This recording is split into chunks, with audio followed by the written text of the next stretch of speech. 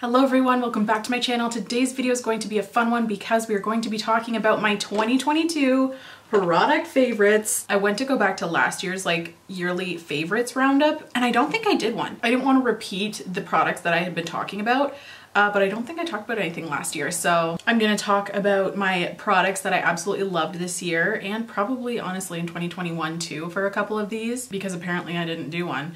So um, I have a lot to talk about. I have this really big bin.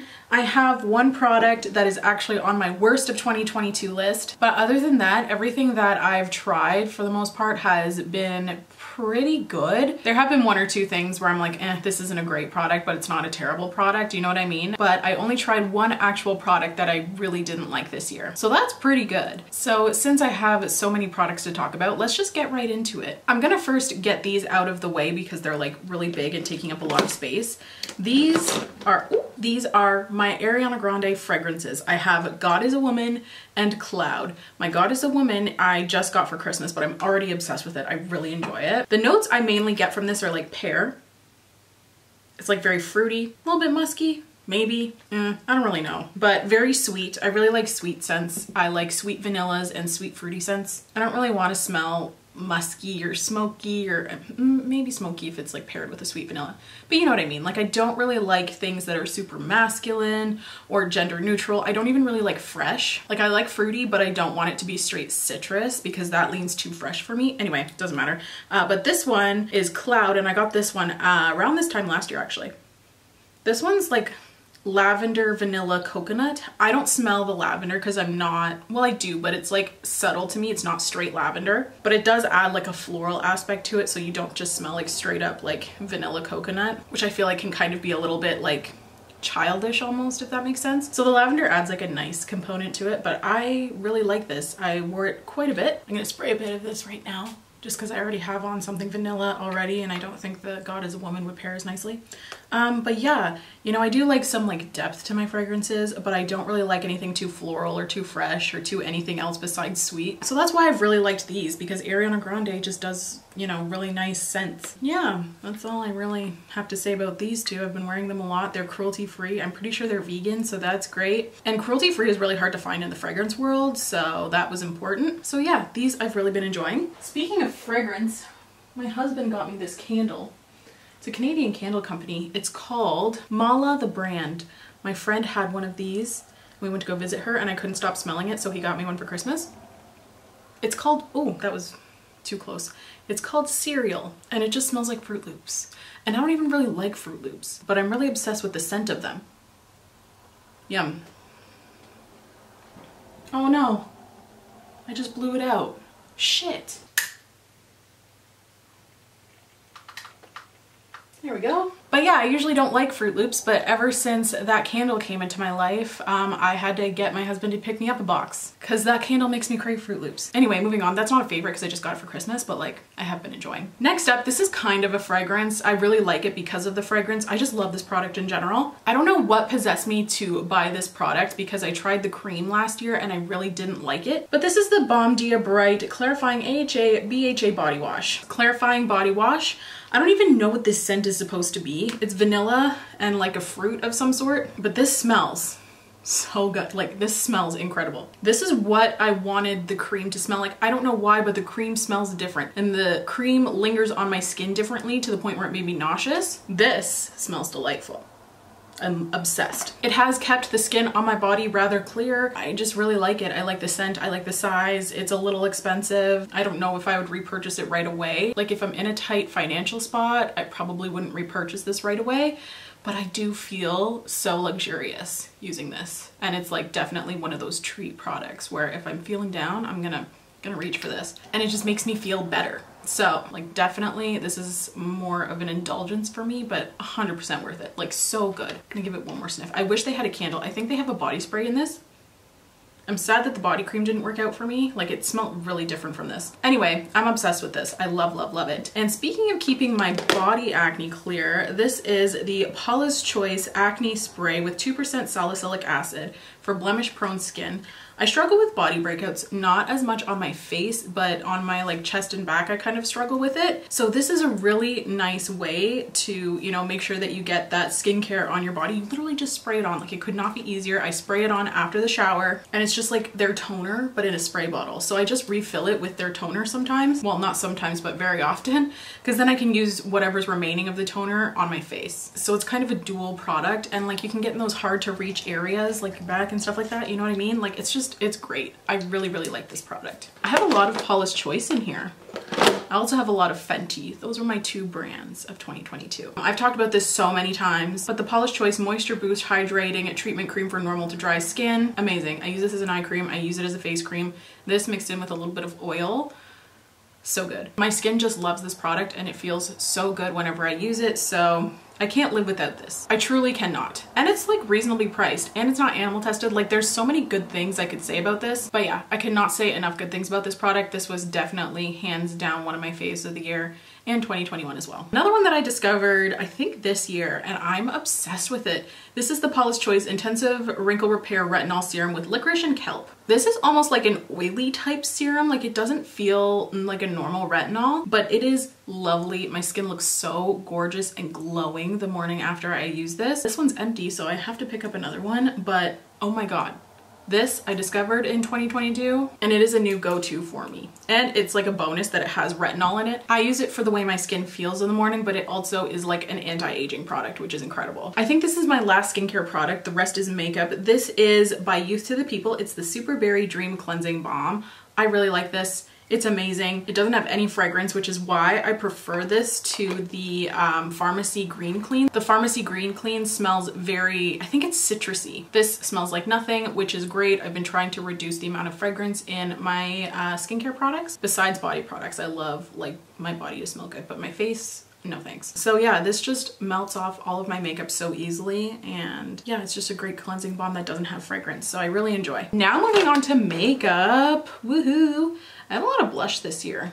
Who would have known? I'm gonna get these out of the way because they're taking up a lot of space. So I'm gonna talk about lashes. The first style that I've really been enjoying, and this is on myself and on other people, the Ardell Faux Mink 817s. I am obsessed. These are so pretty. I love these lashes when I'm looking to open up the eye. It gives like a very pretty doll eye effect. If I'm not going for a cat eye, these are what I reach for. I also don't have them with me, but the Faux Mink Wispies are fantastic as well. They're a little bit shorter, so if you have smaller lids, those ones are great. I just don't have a set on me. So the 817s, the Faux Mink Wispies, as well as the Kiss Lashes in the style Jubilee. These are fantastic if you want something more dramatic that is in a cat eye shape. These are just so perfect for that kind of look. I'm wearing them today because it's New Year's Eve so this is the New Year's Eve glam that I'm probably gonna take off before midnight. So anyway, yeah, for people with larger eyelid space and for someone who's wanting something more dramatic, I love these. And lastly, if I'm going for like super, super natural on somebody, I don't use these on myself, but I've gone through these like water on other people. So these are the Ardell Faux Mink um, individuals. I currently only have short black ones.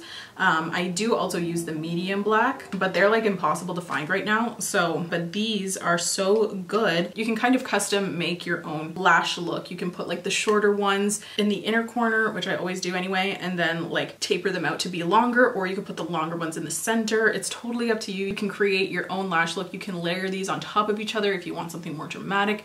And these are just so much more comfortable for those who don't wear lashes that often. Like if I'm doing a wedding, these are perfect for mother of the brides who aren't used to wearing any type of lashes. They just give them a little bit of a pop, you know, while still being quite comfortable. Okay, what should I move on to next? I don't know, I'll just go with whatever. For foundation, this one I found this year that I really did love. This is the Catrice True Skin Hydrating Foundation, Hyaluronic Acid and Long Wear. This is in the shade Neutral Porcelain 004. Uh, it probably won't match me now, it's probably a bit too dark, but this formula is very beautiful. It is very hydrating. It does kind of look like a very dewy skin finish, which I've personally been loving this year, and it's long wearing. You used to like not be able to find the two, like a foundation that's not super matte, but is still long wearing. It used to be really hard to find, and now you can find it at the drugstore. Even though drugstore prices are not like real drugstore prices anymore. That's a discussion for another day though. Long story short, I really did love this foundation, especially in the summer. Ooh, microplastic particle free. Well, that's kind of good. There's probably so many microplastics in makeup that you just don't even think of. Uh, this is great. I just wish it had a better shade range. That's the only thing. So that's the only foundation. Um, obviously the Beauty Blender Bounce, but I feel like I talk about that one so much that like whatever. But if you're wondering if I still love that one, yes, I very much do. This was my highlighter of the year, as it always kind of is. This is the Laura Mercier Matte Radiance Baked Powder in the shade Highlight 01. I finally finished my little tiny sample size and I got this size that I kind of use on myself as well as in my kit. It's just such a pretty highlighter. It's like not glittery at all. It just is really stunning and it's like more of a natural glow, like natural, like you can still tell you're wearing highlighter, but it's just like I don't know, so much more natural in comparison to other things on the market. I feel like the new Rare Beauty highlighters kind of remind me of this, like they're kind of dome shaped. So I really want to try those ones because they look so beautiful, but they've been sold out for a while. So I do want to try those Rare Beauty ones this year. Leave in the comments down below if you've gotten to try them. Uh, but for this year, the Laura Mercier Matte Radiance is the best. Let's get through some of the Fenty stuff because I have a lot of Fenty. This first product is the Fenty Cream Bronzer. This is in the shade Butter Biscuit. I absolutely love this. Another Fenty product that I really like, but it's in my makeup kit. Um, the Match Sticks in the shade Soft Amber. Gorgeous, gorgeous contour for very fair skin. But for bronzer, I definitely prefer the Butter Biscuit. And I also prefer prefer the cream bronzer formula as opposed to the Matchsticks formula. This is fantastic. I'm obsessed. Ironically, I'm not wearing it today um, just because I wanted to try out some other bronzing products that I've been testing out. So also, I feel like this is kind of cheating because I got it in November, but I just, I've been using it so much and I am obsessed. This is the Fenty Beauty Double Cheeked Up Freestyle Cream Blush Duo. Just a cream blush duo. I think it's so good. I mentioned it in one of my previous videos talking about like new makeup launches and I was like, oh, I really want to try that. And I was sent it in PR. So incredibly lucky, like it's crazy and these are the two shades. I love both of them. I have been getting slightly more use out of the brighter pink shade, but I use both of them and they are both so lovely. The formula on these is absolutely beautiful. It makes me really want to try her, um, you know, usual cream blushes. But I currently cannot justify that purchase just yet, so I'm going to continue loving on uh, the ones that I currently have. A couple more products from Fenty that launched this year that I'm absolutely obsessed with, and I was sent the whole line and I'm so grateful, but I've also purchased these on my own, so you know I love them. Uh, these are the Fenty lipsticks. The one I'm wearing today is called Scholar Sista. It's probably my favorite. So pretty. They have the peach vanilla, or is it apricot vanilla? I don't know what their scent is, but it has the same scent as the Gloss Bombs. This formula is so beautiful. It's like a satin, but like a glossy satin finish. This is the other shade that I have in my personal collection. Um, it's called Mother Lover. It's a very pretty light peachy nude gorgeous. I use both of these shades on myself the most, but I also use them on a lot of clients and they look good on so many different people. Another lip product, this is by Charlotte Tilbury. This is the Lip Cheat Reshape and Resize Lip Liner in the shade Iconic Nude. It's a very beautiful lip liner. I use this mostly for my kit, but I do really enjoy it. I'll give you a little swatch for you. I haven't swatched literally anything in this video except for this and the highlighter, just realizing that. It's just such a beautiful brownish nude shade. If Pillow Talk is too pink for you, that is the one I would recommend. It's so gorgeous. Not a ton to say about it. Uh, it's a really solid formula, very long wearing. I use it on a lot of brides and yeah. Another lipstick that I was obsessed with this year, I feel kind of bad because it's not available anymore. ColourPop just discontinues too much stuff. This was released with the Of Quartz collection and this is the Lippie Stix in the shade Best Intentions. This is just such a beautiful color. It's like a rosy nude again. Um, I'm obsessed with these shades. This is just such a beautiful color and I wore it so much this year, especially kind of in that transition from summer to fall kind of period and early fall. I was obsessed with this shade. It's so good. I'm sorry you can't get it, but it's a good one. I have a couple brow products and they're both from the drugstore. I tried the NYX Lift and Snatch Brow Tint Pen and I wasn't sure about it at first because it seemed like a really dark color. I got the shade Soft Brown and for the longest time I thought I had the wrong one. Like I thought they labeled it wrong or something, but this is just such a skinny pen. It provides really nice hair-like strokes I use it to really define my arch like with a really crisp line. It's my favorite. I love it so much. And I also have been really enjoying the e.l.f. Brow Lift. It's supposed to be a dupe for the Anastasia Beverly Hills Brow Freeze. I don't think I'd spend that much on the Brow Freeze because I don't love the laminated look. I think the laminated brow look is something we're gonna look back on and be like, oh, what the hell were we thinking? But I do really enjoy the e.l.f. Brow Lift as like a really, you know, heavy duty brow gel. Obviously I don't brush up my brow hairs, but they keep them in place really, really well. So I have been obsessed with this and it's affordable. Okay, sorry, my camera died, so I had to go charge it. I feel like I'm off center now.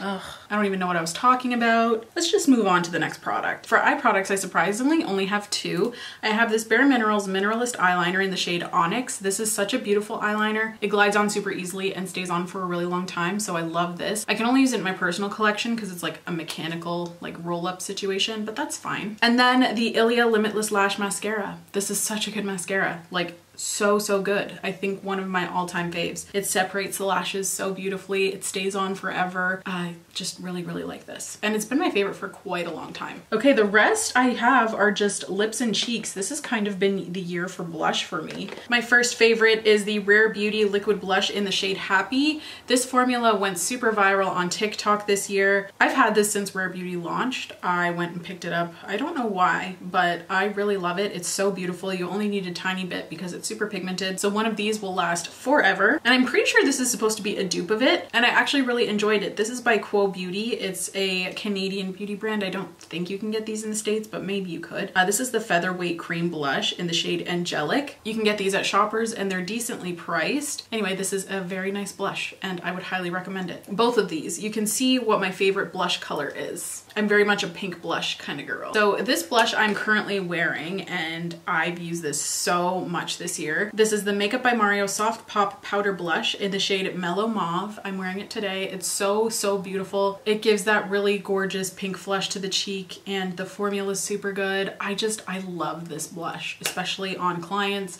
especially on fair skin. I just think it's so, so beautiful. And the formula is really long wearing, so I love that. And finally, this is the Bare Minerals Gen Nude Powder Blush. This is in the shade Call My Blush, and I just really love this formula as well.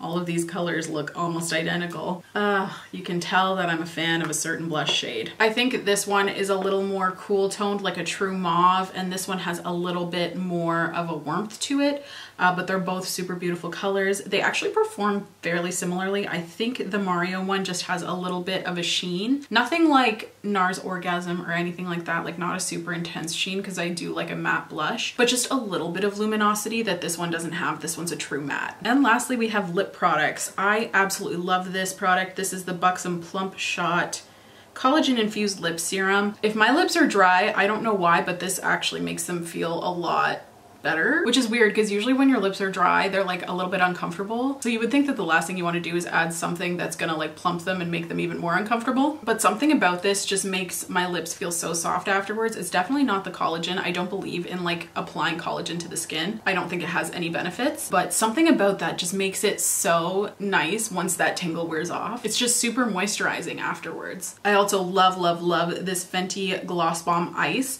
It smells like a pack of five gum. Like this mint is so intense so lovely. Cooling minty glosses are like some of my all-time faves. So I think this is fantastic. And again, sometimes when my lips are chapped, you know, they're very irritated and uncomfortable. And I find the mint just provides such a nice cooling sensation that I like completely forget about it. And it provides some like moisturizing benefits. I'm sure there's some good ingredients in there. For color gloss, this is the Bare Minerals Mineralist Lip Gloss Balm in the shade Heart. I love this. This is such a nice gloss.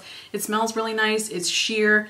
It's not sticky because it's like a gloss bomb hybrid. It kind of smells like a pink starburst or something. Like it's just such a nice product. And now I'm gonna regret getting the applicator all dirty, but it's fine. It's just such a nice moisturizing balm. I keep all of these in my purse. These are the four products that I use the most. I just went straight to my purse. I didn't even go into my makeup bag.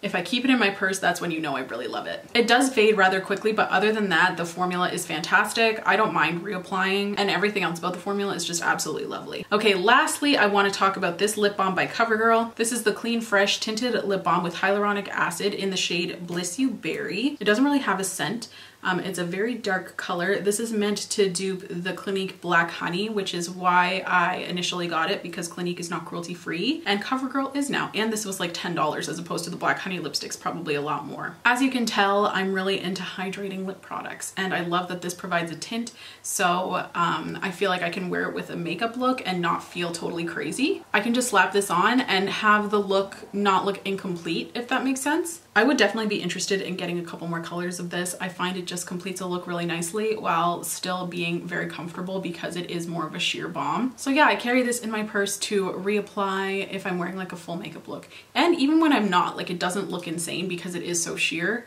It's just a really, really versatile product that I've been absolutely loving. And for the product that I hated this year, this is the Huda Beauty Faux Filter Concealer. I got the shade Meringue 2.1N Luminous Matte. I thought this was going to be like a groundbreaking concealer for me. This creases like nothing else. Like it cakes up in like this area, don't get me wrong, it also creases in like my more deep set creases that are like under here. But very rarely will something crease like out here for me because you know, like I'm only 27, my crow's feet like wrinkles are not that deep yet. But this settles into those fine lines. I've never felt or looked older than when I use this concealer. It's so bad. So I originally tested it out because I thought it would be so fantastic for my kit, but like the longevity of this is just not there. It creases so quickly quickly, like within a couple hours. So I was really disappointed with this and honestly, I've been saving this product for this video and after this, it's gonna go straight in the trash. And I feel very bad about it. But there's just no hope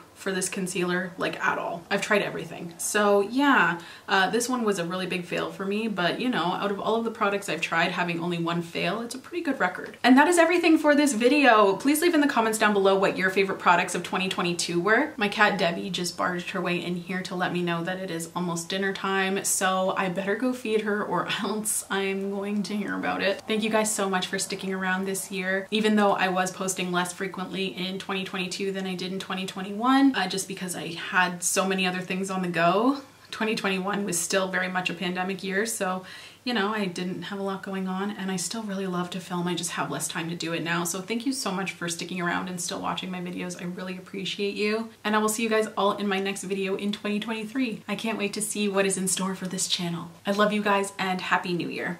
Bye.